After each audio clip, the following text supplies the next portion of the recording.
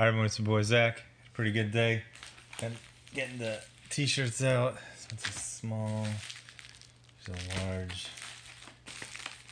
There's an XL. Uh, but uh, anyway, uh, then after doing uh, work, I had to do my chores, which involved reading Doomsday Clock number eight. So if you saw the title, this is a basically a play on a quote from the original Watchmen, where Doctor Manhattan says, "I'm tired of these people. I'm getting, I'm tired of being caught in the tangle of their lives."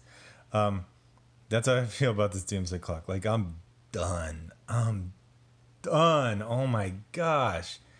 This I think the first issue came out like a year ago when I was still living in Hell's Kitchen. So many things have changed. And this thing is just still going on. And, and what it is is basically it's it's a normie trying to be a wizard. Um, I was reading an interview. It was with uh, oh Grant Morrison, and uh, he was talking about his rivalry with Alan Grant. He was talking about the original Watchmen. He said, you know, the things I don't like from the original Watchmen, I still don't like, and he was giving a, some examples of how like. Uh, uh, Walter Kovacs, the the uh, Rorschach, he's talking to a psychiatrist and he tells him pretty standard story of an abusive childhood, and it just like shatters the psychiatrist's brain. He's like, he goes, it's a pretty banal story. like seriously, so he was basically cooking him. And I've heard that Grant Morrison had um, uh, did like a one shot with Frank Quitely. Uh, I think it was called Pax Americana. I got to track it down. But from what I've heard about that book, is they said he basically did his own version of Watchmen, and it's better, and it's like 48 pages. So I got to find that. Oh my gosh. Um, it must have come out during one of my deployments or something because I have like zero memory of that book ever coming out. But anyway, the plot of this is who knows? It's like freaking a year and a half later. These things come out every, I think they, they come out monthly every two months, every six weeks. The last one was the was uh, the one where uh, the comedian goes, "Holy shit, what's wrong with your cat?" And I feel like I recorded that video a long time ago, uh, like two months ago. So here's here's the, here's the get it over with. Here's doc, doc, Doctor Manhattan puppet. Get it? Oh god. Oh, that symbolism. They're being used as puppets by Ozymandias because they're marionettes, which are kind of like puppets, and they're, they're, uh, he pulls the strings. Get it? Get it? This is Geoff Johns, the most normie, like Walmart, Target guy in the world, and he's trying to take over the wizard shoes, the curly, the pointed, uh, curly, uh, uh, silver-heeled wizard shoes of uh, of Alan Moore, and it just doesn't work. So then we get to get some out of the White House, and then hey, do you remember? Do you remember the Superman movie from like 1979? Remember how "Don't Call Me Chief" and the in the they're talking about the freshly squeezed orange juice? Yeah, it's, it's like 40 years later, we're getting the exact same thing. Um, so then we get to. So one of the things when Grant Morrison was like uh, roasting Alan Moore, he goes, "We get it you kick you got kicked out of high school for selling LSD. You're clever. it was like it was very acidic, but it's like I was looking at this and I was just getting bothered. The nine page grid was something that Alan Moore, they I think probably came from Alan Moore. They came up with it was like 30 years ago. It was kind of pretentious, but it did work. But then it worked. We all knew the trick.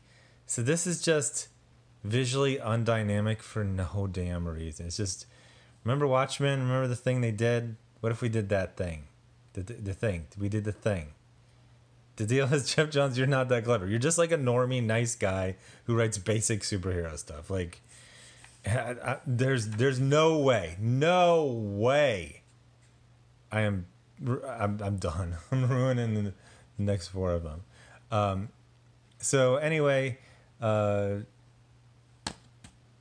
I don't even care. But Firestorm, everyone's freaking out. He turns these people to glass, and then he's trying to turn them back into glass. Now the thing is, actually, there's some plot stuff here that actually works out kind of okay, but it's just so miserable. Like everyone talks about the original Watchmen being really dark, but it was almost like an action comedy in some of that's what I was talking to a friend and I was saying like I you know I like the old Ghost the Ghost in the Shell like manga the first one is it's basically Lethal Weapon with robots like it's an action comedy. I don't know why all the anime they have to be so dour and slow and everyone's depressed like it was it was goofy like there, was there's a lot of jokes in the original Watchmen. There's no jokes in here. It's just like miserable. And they're just throwing in like DC characters, but they're like they're misremembering Watchmen as this really, really miserable book.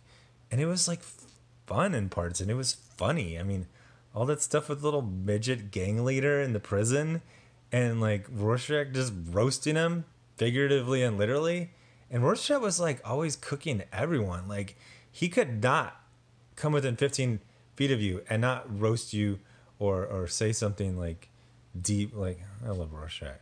But uh, anyway, yeah, this has sucked. Something Syria, that's topical. I guess I'll just skip forward to the end if there's anything cool. Batman's in a plane talking. Yeah, I didn't care. I hate this book so much. like he wore me out. I remember when I remember God, fall of 2017 feels like it was 20 years ago. But they had Mr. Miracle and they had Batman White Knight and they had Doomsday Clock and it felt like something big was going to happen. It felt like maybe it was like DC in like 1986 or they had like uh, uh, Dark Knight Returns and Watchmen and I believe Saga of the Swamp Thing was 85. Anyway, it was it was like a real like new no, no. Batman White Knight was the best of these by far and is a legitimate classic. And they're already working on this the sequel. I forget what it's called. It has Azrael in it, so that's cool. Um, but this is just I wouldn't even call this trash. But uh, like I said, this this cover is the perfect epitome.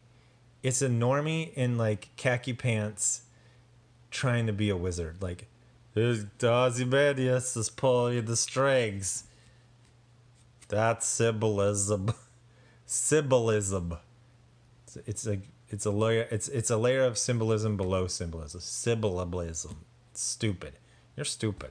So uh, anyway, that's all I got to say. Um, it felt like such a chore to read it. I like it.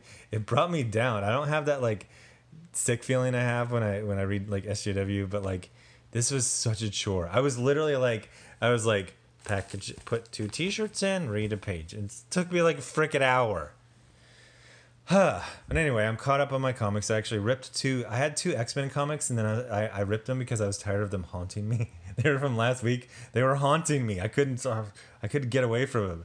So i just ripped them and i was like i'm free. Um, but anyway thanks for watching. Subscribe. Make sure you're still subscribe hit the bell for notifications. Thanks to everyone giving to this uh, gofundme the Indiegogo, and the Patreon. Speaking of Patreon, speaking of Patreon, uh, Patreon had this controversy where they kicked. They've been kicking like a lot of people off for politics apparently, uh, which has had a weird effect because then people started getting mad about that, and then they, they were writing me these emails. They're like, "Hey man, I still want to you know support you, but I can't in good faith give any more," uh, because they're they're basically saying that um, and this is like a whole big controversy, but it's this weird thing where corporations are basically deciding what you can believe in, and it's actually pretty scary. Um, but uh, so they they've been uh, recommending something called Subscribe Star, which makes me think of Coinstar, but I guess it's Patreon ish. But God, 2018 just sucks. You have to think about Nazis every day because of these wacko SJWs who can't handle Hillary losing two years ago. So when people recommend Subscribe Star, I can't just join it. Like we live in a normal world. I have to go investigate it because God forbid if one alt right organization is also using that application, then by the transitive factor of psychopaths, every single person is still, you know what I'm saying? You gotta freaking, it's, it's, it's, it's freaking Crest toothpaste okay? Is that okay? Is that it's the toothpaste of the alt right? Freaking freak shows. Anyway, uh, thanks for watching, and I'll have uh, more new comic reviews up tomorrow.